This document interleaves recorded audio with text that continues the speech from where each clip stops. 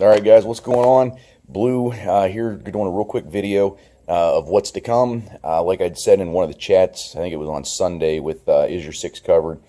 Uh, got a hold of the chief, said, hey, we got a bunch of these expired uh, soft body armor things laying around. You mind if I grab some and shoot them up to destroy them because they're all way past their shelf life? And he agreed to it, so this is what we're going to do. I got I only found one of these. It's just a uh, it's a soft trauma insert. You usually you wear this on the front of your vest in front of your uh, your your main panel. So we got one of those we're going to shoot at. I'm going to leave it dry. And then I got three different brands. Uh, first one is the Ultima body armor from Second Chance. Uh, it's a threat level 2A and manufacture date is 2 of 2001.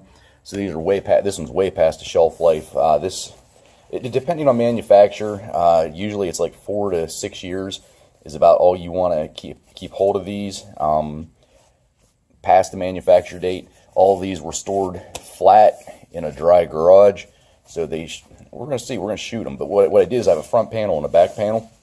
And I'm going to keep one as is. The other one I'm going to soak for the next couple days let it out and dry, and then just let it out in the elements for a while, just kind of get it roughed up some, see what happens. So we have that one. Uh, what's this one? This is a Galls brand. It's the model LFII1.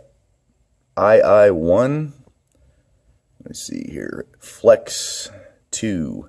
So this is also a level threat level 2.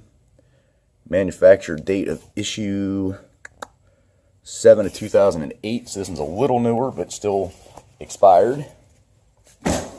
And the last one we have is Monarch Summit Second Chance Body Armor. Again, this is uh, level 2. Manufacture date is 330 of 04. So like I said, uh, that's what I'm going to do now. I'm going to fill up a couple buckets. I'm going to put the one of the panels from each. I'm going to soak it for a couple days because you're not supposed to get them wet. And then I'm just going to leave them out in the element for a couple days, and then I'm going to take them out to the farm, and we're going to shoot the hell out of these and see what uh, expired body uh, soft body panels do. So, all right, hang on for that video, and we'll see you in a, about a week actually, because it's going to be a while. But I just want to give you guys a heads up on what's going on.